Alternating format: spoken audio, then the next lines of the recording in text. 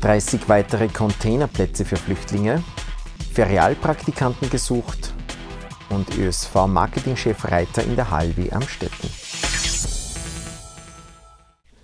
Herzlich willkommen, meine Damen und Herren, im 4 aktuell. Derzeit betreut die Erzdiözese St. Pölten rund 1100 Flüchtlinge. 30 weitere Grundversorgungsplätze werden nun in Zusammenarbeit mit der Caritas im Stift Melk mit Hilfe von Containern geschaffen. Die Betreuung von Flüchtlingen in Grundversorgung übernimmt die Caritas zusätzlich zur bestehenden Verantwortung über die Transitquartiere. Insgesamt betreute die Caritas St. Pölten seit Jahresbeginn etwa 20.000 Flüchtlinge auf der Durchreise. Die Stadtgemeinde Amstetten bietet auch 2016 rund 80 Jugendlichen die Chance, in den Ferien einer Beschäftigung nachzugehen, um erste Erfahrungen in der Berufswelt zu erlangen. Dabei ermöglicht die Stadtgemeinde Amstetten sowohl die Absolvierung eines Pflichtpraktikums als auch eine Tätigkeit als Ferialarbeitnehmer. Bewerbungen sind bis spätestens 31. Jänner 2016 an die Personalabteilung zu richten.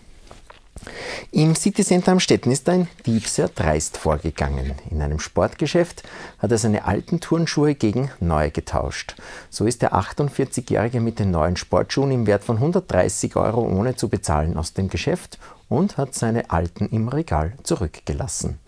Die Verkäuferinnen wurden allerdings rechtzeitig genug auf den Dieb aufmerksam und alarmierten sofort die Polizei. Aufgrund einer Personenbeschreibung konnte der Rumäne schnell gefasst werden.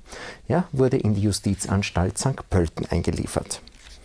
Und Mario Reiter, Olympiasieger von Nagano 1998 in der Kombination, ist heute Marketingchef des österreichischen Skiverbandes und war in der Hallweh am Städten zu Besuch. Mit Schülerinnen und Schülern der Höheren Bundeslehranstalt für wirtschaftliche Berufe diskutierte Reiter über Sportfinanzierung, Eventmanagement und die wirtschaftliche Bedeutung des Skisports. Dass ohne Skisport viele alpine und andere Regionen wirtschaftlich schwach wären, führte er sehr eindrucksvoll vor Augen.